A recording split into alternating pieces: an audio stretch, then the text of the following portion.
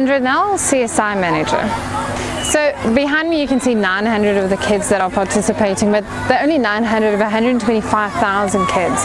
And for us it's incredible to see that first and foremost kids are getting active, but secondly they're learning valuable life lessons. So they're making friends, they're learning the value of teamwork, discipline, and, and those are things that will leave them in good standing for the rest of their lives. So it's at this 10 year mark that we are exceptionally excited to be launching the Squad of Legends.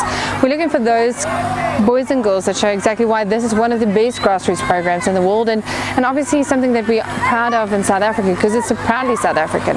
And we're looking for those stories of impact, how KFC Mini Cricket has been making a phenomenal difference in people's lives and we um, we want to be able to tell those stories as well because again this is the future of South Africa and as an organization who does well because of the people we feel responsibility to give back to our communities.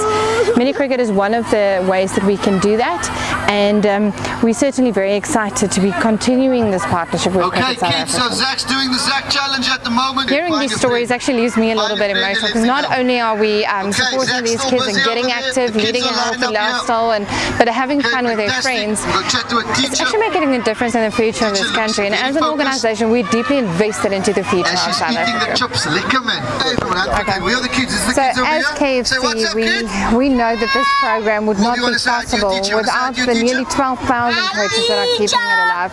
Those, those individuals that are keeping the KFC mini cricket fire burning in their corner of the country, but also doing that in a volunteering There we go. capacity is simply absolutely inspiring. We So we, we are extremely grateful for that partnership for the last 10 years.